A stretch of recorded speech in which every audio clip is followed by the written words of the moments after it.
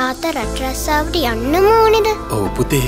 ඇයිඒ පුතාට සතුටින් ඉන්න ඕන හින්දනේ ජාවරම්කරුවන්ට අහුනුවී වැදගත් විදිහට වැඩටික කරගෙන සතුටින් රට යන්න. ඊශ්‍රයිලි තානාපතිවරයාත් නිරන්තරයෙන්ම අපිත් එක සම්බන්ධවමින් තොරතුරු බෙදා ගන්නවා නමුත් දැන් ඊශ්‍රයිලේ ජීවත් වෙන බොහෝ ශ්‍රී ලාංකිකින් පිරිසක් කියෙනම තන අට දහසකට වැඩි පිරිසක් ඉන්න. ඒ නිසා තවමත් අපි කොපමන ආරක්ෂිතයි කියල කිවත් ඔන්ගේ පවුල්වලට යම්කිසි දෙගඩියාවක් තියෙන ඔවන්ගේ ආදරණයන්ගේ ජීවිත සම්බන්ධය. මේ වන විට අද අපි මේ කතා කරන අවස්ථාව වන විට ඊශ්‍රයිලය තුළ කිසිම අවධානමක් නැහැ කියලා සාතික් කරන්න ශ්‍රී ලංකා බලධානයට හැකියාව තිබෙනවාද ශ්‍රී ලාංකිකන්ගේ ආරක්ෂාව සම්බන්ධය කතා කර. යුද මේ තත්වයකදී ඇතිවෙන තත්වයන් ඉතාමත් අමාරු පුරකතනය අනපේක්ෂිත. අනපේක්ෂිතයි. හැබැයි මේ අවස්ථාව ගත්තහම අපි දකින ඉස්්‍රයිලයේ සන්නිවදන අතින් ඉතා ඉහළ මට්ටමක තියෙනවා. සහ සන්නිවදන මුල්කාලේ බිඳවැටන මේ ගාසාතීරයේ ප්‍රදේශය පමණ අනිකු සෑම් ප්‍රදේශක මොද සන්නිවදන කටයුතු ක්‍රියාත්මකන සහ අදටත් ක්‍රියාත්මක වෙනවා. ඒ වගේම බහුතරයක් ගෙවල්වල තියෙනවා ආරක්ෂිත කුටියක් එමනත් අපි කියන සේ පරූම් එක බහුතරයක් ගල එහම නැතිගෙවලුත් තියෙනවා මේ මෙන්න මේ තත්වය තුළ බහුතරයක් අප ශ්‍රී ලංකා සිට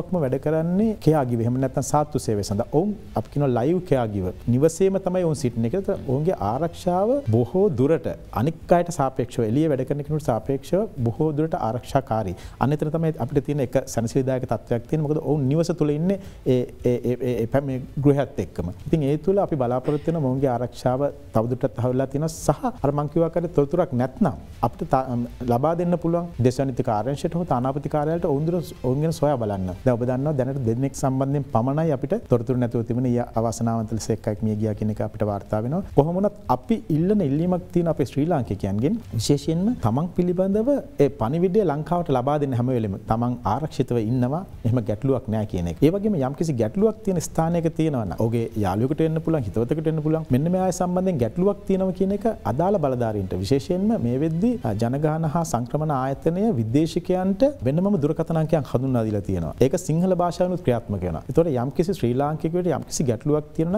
ස්ථාන තුනක් තියෙන එකක් තමයි තානප්තිකාට රිජුවම අමතන්න හැකියාව තියෙන දෙක තමයි එහතින පිබා ආයතනයට අපින ජනක සංක්‍රමණ ආයතනයට. මේකට ඇමතීම හැකියාවක් තින තම ගැටලු සම්බන්ධ යගේ කාරයශයටත් පුළුව මේ මෙම ස්ථාන තුනටම ඔබට පුළුවන් අවශ්‍ය තොරතුරු ලබාදන ඒවගේම මෑතකද අපි ජනත්වාගේ මැදිත්වීමට තවත් ඒකයක් පිහිටව එතනත් මේ ඕනම තැනකට තොරතුරු ලබා දෙන්න පුළුවන්. ආරක්ෂිතය කෙනෙ අපි අදහස් කරන්න මෙන්න මේ වටපිටාව තුළ තොරතුරු නැතිය කියන අපි ඔුන්ගේ සොයා බැලීම සහ අවශ්‍ය අනිකුත් පහසුකම් සපයන අන් ඒක තුළ තම අපි කියන්න ඔන්න ආරක්ෂ සහිත තවදුරටත් ඉන්නවා කියන එක. සහ ඊස්්‍රයිල ගත්තහම ඔුන්ගේ තියෙන අර අපින ඩෝම් සිිස්ටම් එක. මේක තුළ බොහොදුරට එන ප්‍රමාණය රොකට් ආවට දැන් අප ශ්‍රී ලංකය පවසන පරිදි ඒක විනාශවල යන නමුතර සුම්බුම් වැටීම තුළ වගේ දෙවල් තුළ ඇතිවෙන්න පුළ කොහොමුණත් අපි හැමවේලම කියනද තමයි මේ සන්නිවේදන කටයුත්ත ඉතා හොඳින් තියාගන්න යම් කිසි කෙනගෙන තොතුර නැත්තන් ඒ අපිට හැකි ඉක්මනින් වාර්තා කරන්න එක ශ්‍රී ලංකකින්ගේ සහය අවශ්‍ය වෙන අනිවාරෙන් සහය අවශ්‍ය වෙනවා. සහ සමරක්ලට ඒ ප්‍රදේශවල ඉන්න ශ්‍රී ලංකන් කමිනිටියක ඉන්න කට්ටියන්ව කියන්නේ ඒ වගකී මැරන් ක්‍රියා කරන කට්ටිය ඒගොල හොඳ සහ සම්බන්ධාවයක් තනප්ති කාරත්තක තියෙනවා එක තවදුරටත් හොඳින් පවත්වා ගන්නගෙන ඉල්ලීම අපි සියලු දිනාගම කරනවා.